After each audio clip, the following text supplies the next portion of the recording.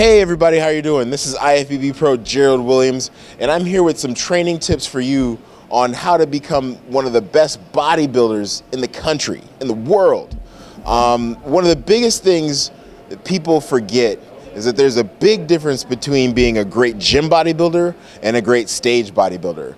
Great gym bodybuilders are the guys you see with the giant shoulders and the tank tops, and they got the the pants on, and they're like, yeah, you see that guy in the gym, you're like, I want to look like that.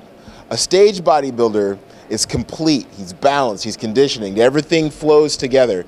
And that's what you ultimately want to bring to the stage if you want to be an IFBB pro. You want to bring a complete package where there are no super standout body parts. Everything flows together in balance and harmony. I got taught really young that there are three aspects of bodybuilding conditioning, symmetry, muscularity. I'm pretty sure they're still judging on those. So you want to be a great bodybuilder, make sure you focus on equity in training, making sure that all your body parts flow together, not just the big show arms and shoulders and stuff like that, making sure that you're conditioned. You know, you've got to get in shape. I can't say that enough. Like they want us to be in shape all the time now, like getting on stage to be hard, to be full, to be dry. So make sure you, you put the work in to get in shape.